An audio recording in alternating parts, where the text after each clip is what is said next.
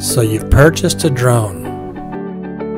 This can be an incredible and rewarding experience. It can take you literally anywhere. Where will you go next? What will you see? Your options are limitless. But there are some rules you need to be aware of. Welcome to our Drone Safety and Awareness series.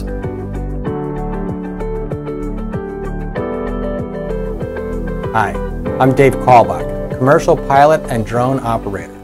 This video will be the first in a series to help our flying community learn more about what it means to safely and legally operate your drone and what rules you will need to follow.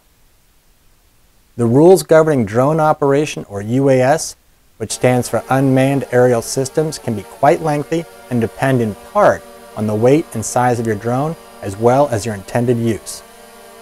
In today's video, we'll cover the recreational flyer and then later in the series, we'll discuss rules governing commercial operators such as those using their drones for aerial photography, real estate sales and development, or flying your drone for payment of any kind. Drone flying is relatively new and the rules are continuing to change and evolve as things go on. So if you haven't already, hit that subscribe button down below and ding the little bell, we'll try to keep you up to date with the latest changes as they come out. As I said, this is a new and exciting field of flying, so let's get started.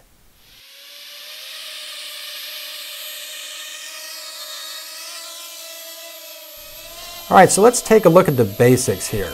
Remember first, we need to register our drone. Flight can be no higher than 400 feet or 120 meters. The aircraft must be within line of sight at all times.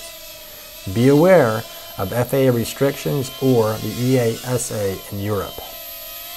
Respect the privacy of others and never, never fly near other aircraft, fly near airports, fly over groups of people, public events, or stadiums filled with people.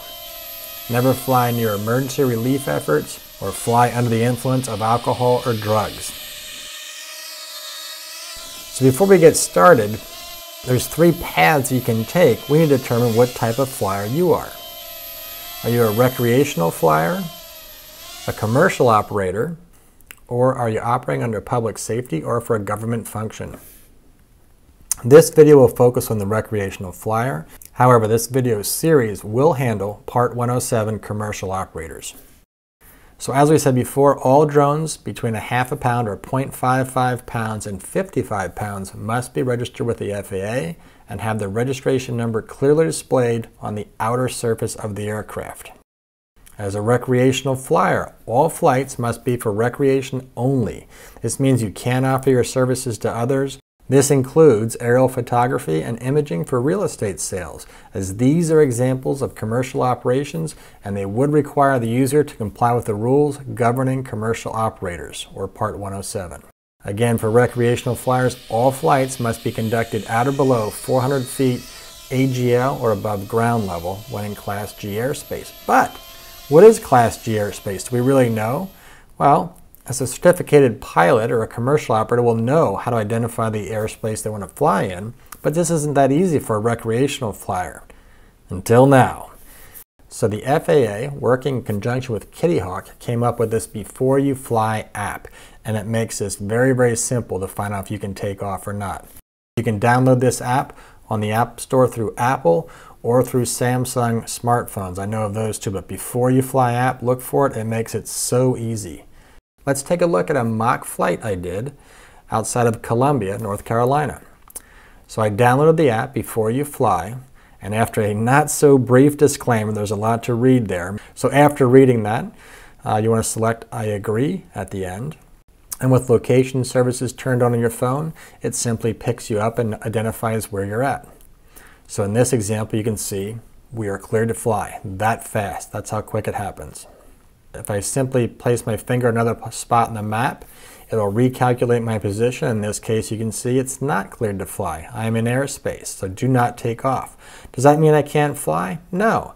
It means I need to review the airspace requirements for that area and find out what I can do. In this case, with ATC authorization or LAANC, low altitude authorization and notification capability, or with a written FAA notification, I could fly. So as a recreational pilot, this is a little more difficult. It can be done under LAANC. Uh, however, that's something we will cover in the Part 107 section for commercial operators. So now if we follow along, I'll, I'll look somewhere else too. Let's say I wanted to go out to this lake and see if I could fly there today. That was my mission for the day. So I put my pinpoint over there and you can see cleared for takeoff. I am good to go. I'm in Class G airspace. Not a problem at all.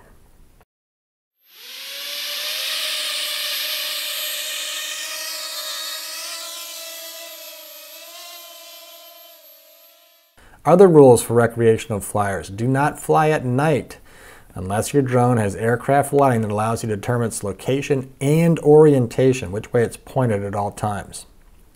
Remember, your drone must be within your visual line of sight, or if you have an observer, it has to be in their line of sight, and the observer must be next to you and in direct communication with you.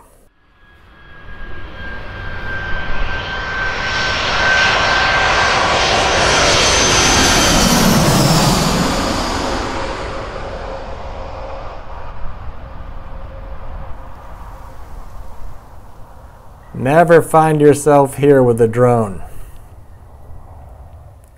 Remember, give way and do not interfere with any manned aircraft, and never fly over a person or a moving vehicle. You never want to fly under the influence of drugs or alcohol, and a key point to remember here is many over-the-counter medications may impact your ability to safely operate your drone. You don't even know it. So you want to make sure you don't operate under the influence of alcohol or drugs of any kind. We can never interfere with emergency response vehicles such as that fire truck we just saw, disaster relief efforts, accident response, or law enforcement activities. We want to stay away from events like that at all times and let them do their jobs. It goes without saying, don't operate your drone in a careless or reckless manner. Recreational flyers need to know that if they intentionally or unintentionally violate any of these safety requirements or act in a careless or reckless manner, they will be liable for criminal and or civil penalties. Don't find yourself here. My advice? Simple. Become a commercial drone pilot. It's the best way to protect yourself and it opens up endless possibilities, creating opportunities for you to get paid for your efforts, knowledge, skills, and your investment of the drone. Next, make sure you check out our video on Part 107 Commercial Operators. There will also be a video in this series that shows you how to register your drone if you haven't done so already.